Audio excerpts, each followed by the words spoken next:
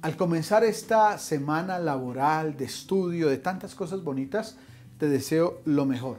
Sobre todo que estés en paz con los tuyos y que trabajes y que reflexiones. No, no, no te vuelvas una persona cómoda, burguesmente cómoda, eh, sino que siempre hay retos, siempre hay cosas para hacer mejor. No hay que acomodarse. Cuando uno se acomoda, tranca los procesos. Cuando impide que su equipo de trabajo eh, dé lo máximo por la comodidad de, hacer lo mínimo, pues te, te, afectas y afectas tu calidad como persona. Entonces te deseo que te arriesgues, te arriesgues, te la juegues con toda el alma y con todo el corazón. La vida no solo es para que uno lo abanique en todo el día, sino también para que uno se la juegue en proyectos donde haya sacrificio, audacia, planeación, trabajo en equipo, y agacharse un poquito y ceder un poquito de uno en beneficio de que un proyecto funcione. Hoy es el Día Nacional del Recluso, por eso en nuestro corazón pensamos también en aquellos hermanos y hermanas que están en las cárceles de aquí o del exterior.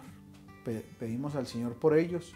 Los ambientes de las cárceles no son ambientes muy buenos, no son condiciones ni siquiera para eh, poder reflexionar y pensar en, mejorar la vida y las condiciones de vida y cambiar sus opciones, pero tenemos que reflexionar mucho sobre lo que es esto, sobre nuestros hermanos reclusos, para que las cárceles no se conviertan en lugares de, delincuencia, de criminalidad, de abuso, porque abusan mucho eh, de los reclusos eh, en las cárceles. Entonces vamos a unirnos solidariamente con ellos y que resuene el Salmo 14.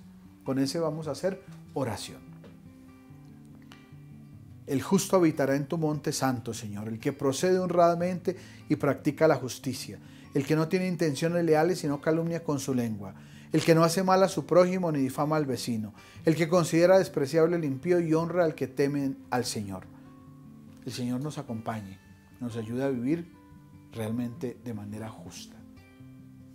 Hermano querido, ya sabes, dale me gusta a este video, nos, nos es de mucha utilidad, nos sirve Qué bueno que siga creciendo. ¿Cómo te agradezco a ti que le has dicho a otros que se suscriban a mis redes sociales? Te agradezco mucho.